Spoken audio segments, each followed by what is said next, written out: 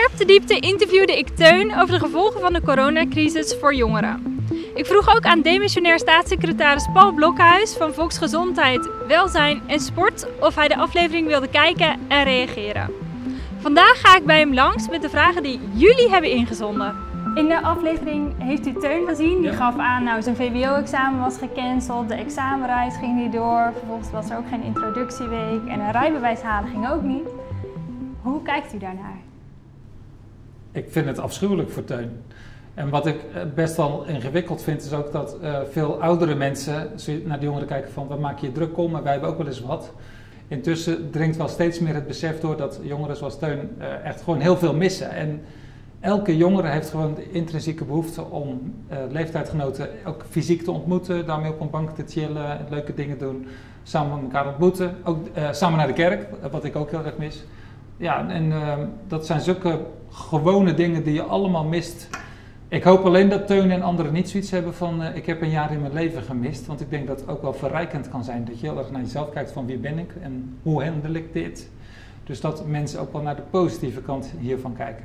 Ik heb nog een aantal kijkersvragen meegenomen. Ja? Leendert vraagt, wat is uw boodschap voor jongeren in deze coronatijd? We zien dat jongeren problemen hebben en als we dat benoemen en erkennen, dat is, daar begint het al mee. Dat vind ik heel belangrijk. In de tweede plaats uh, zou ik jongeren echt willen vragen, heel serieus, als ook een soort papa laten we zorgen met z'n allen dat we die crisis te lijf gaan en dat we de regels serieus nemen. Uh, dus anderhalve meter, niet met z'n allen in huis gaan zitten als je, van andere gezinnen. Uh, en hoe meer wij ons aan de regels houden, hoe sneller die crisis voorbij is. Dus een, echt een opdracht, niet alleen aan volwassenen, maar ook aan jongeren. Want wat kunt u als demissionair staatssecretaris voor zulke jongeren doen? Wat is uw rol daarin, zeg maar? Uh, met jongeren in gesprek gaan. Wat kunnen we doen voor de korte termijn? Wat voor perspectief kunnen we jullie bieden? En de jongeren zeiden, wij kunnen heel veel als jullie ons daarin ondersteuning geven. Met wat geld kunnen we heel veel ontwikkelen en dat gebeurt nu. Er is bijna 60 miljoen euro beschikbaar gesteld uh, voor een heleboel gemeenten in Nederland. Die geven geld aan organisaties die bijvoorbeeld allerlei digitale programma's ontwikkelen. Je hebt uh, digitale uh, escape rooms, digitale discussiefora. Digitale kook, Maar zit daar niet ook een probleem? Dat die jongeren zitten al de hele dag achter een schermpje ja, of de, alles is digitaal? Nou, heel goed. We moeten niet de oplossing alleen in digitaal zoeken, maar er zit wel een deel van de sleutel nu. Want ze kunnen wel digitale verbinding maken, maar dat is één. De ontmoeting buiten, bijvoorbeeld met z'n tweeën wandelen en dan goede gesprekken voeren, dat wordt ook met die programma's gefinancierd. Dus ze denken zeker ook wel na over de het face-to-face face contact. contacten.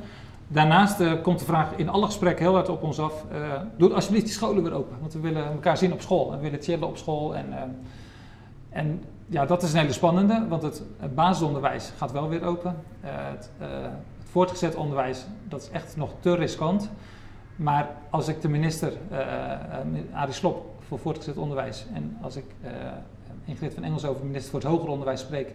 die hebben echt maar één wens die eenzaam op nummer 1 staat, is zo snel mogelijk dat onderwijs weer open. Want dat is wel wat jongeren het liefst willen.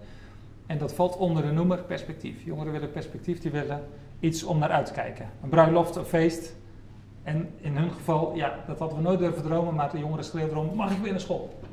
En u heeft zelf ook uh, dochters in deze leeftijdscategorie. Ja. Welke impact ziet u bij hen uh, door de coronacrisis? Ja, twee van onze dochters uh, die hebben een baan en die moeten dat ook virtueel doen. Dat vinden ze ook niet fijn, dat je je collega's niet ziet. En eentje studeert.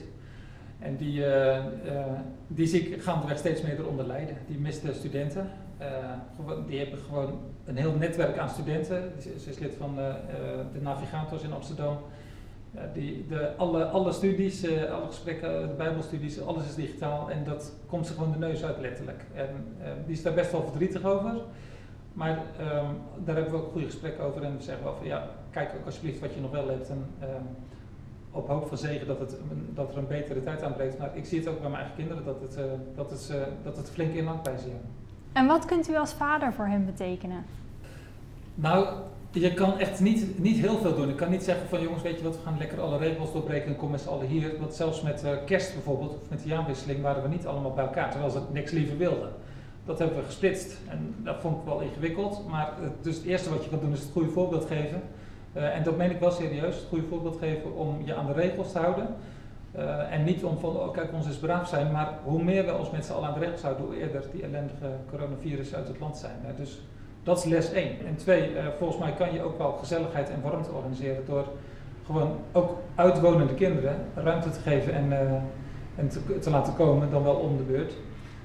en de thuiswonende kinderen, maar ook de uitwonende kinderen. Ja, wat wij doen is ook gewoon spelletjes met ze doen. Uh, sjoelen is helemaal populair geworden. Maar dat, dat levert wel onverwachte momenten van quality time op. Van, oh, we doen weer spelletjes. En, en je, de hele kleine dingen ga je heel erg waarderen. Ik zou ouders en ook jongeren oproepen, gaan elkaar daarin ook meer opzoeken. En de keiharde beperking is het, je mag maar met heel weinig mensen in huis zijn.